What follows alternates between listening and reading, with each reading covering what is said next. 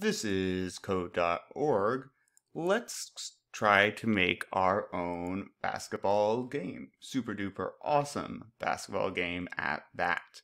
So to start this off, we can see that we have our when run block and the ability to move left and right when I hit these arrows. Okay, now what should I be adding? Hmm, when the ball hits the hand, okay, but does the ball even show up? I don't even see the ball. So what about when run? All right. So what should happen once we hit run? How about we have a, I don't know, throw a new ball? Let's see what this does. Oh, yep. Ah, okay. Try that again. No. Uh, that again. Oh, I'm not good at this. Okay, that's not going great for me. Throw a new ball. Oh, so the ball just goes through my hand. So when the ball hits the hand, what do I want it to do? Um, sure, I'll have it play. Do I have play? Nah, it shouldn't bounce. Eh, yeah. What other sounds I got?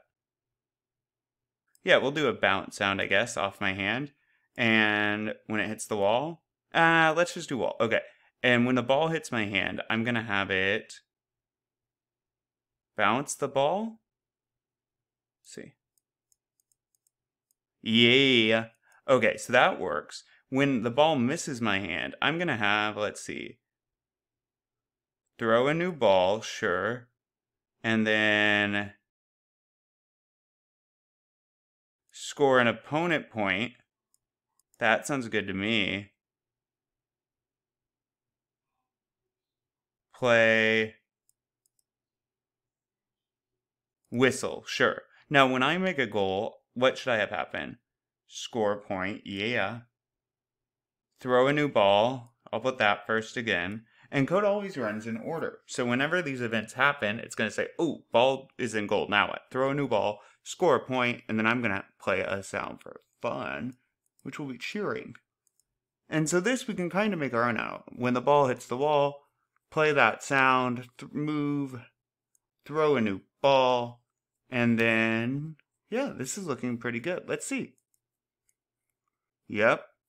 Oop, went off. Ah! And we can even do fun things.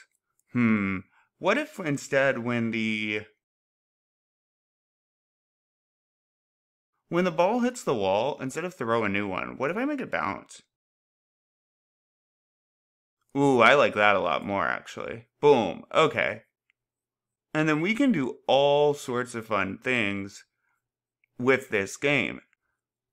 For instance, each time my opponent scores, I could have the ball slow down because maybe I need it to be a bit easier. And then each time I score, maybe I want the ball to speed up so it becomes harder. That would be a fun thing to add. I think I'll actually add that. You can also change the team, so maybe I want to change that up here. Sure. Put that over there, and then I'm going to have set hand speed. I was going to say uh, when the ball misses it our hand, I'm going to change the ball speed to slow. When the ball is in the goal, I'm going to set the ball speed to fast. Okay, now let's see. Am I going to get a goal? Yeah, yeah, now the ball should speed up. Ah! Okay, that's awesome.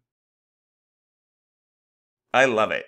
And we have a fully functioning game. So just keep in mind, code runs in order. These are events. When they happen, you can attach the code you want and it will run straight down. When run will only run once when we actually hit the run button. Pretty cool. Awesome. And done. You should make your own awesome game. Customize it to your liking, cool sounds, and all of that.